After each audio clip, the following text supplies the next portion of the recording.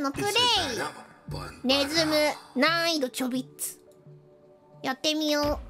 どういうゲーム？うんと駆け引きのサイコロゲーム。楽しそう。サイコロの目の合計がプレイヤーのスコアになんだ。サイコロの目を合わせよう。同時のサイコロを同じ列に配置された場合は数値が2倍。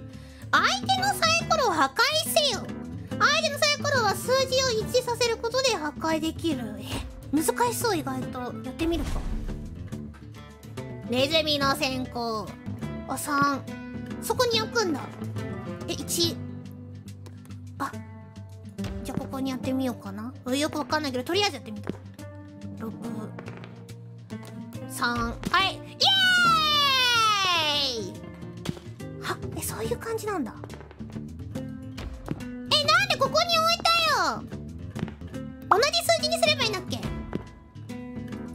れこれは意味ねえの？ええななななんで？これ負けるのか？これ負けちゃうのか？ここ。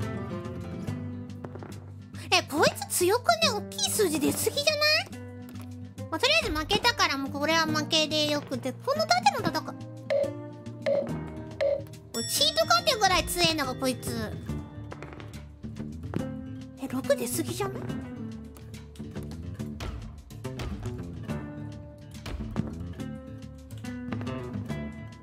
な、な、なにこいつマジで。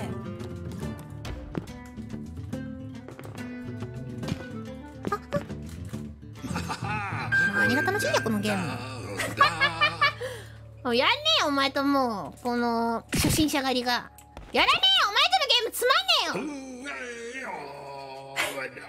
うるせえ遊ばねえよ。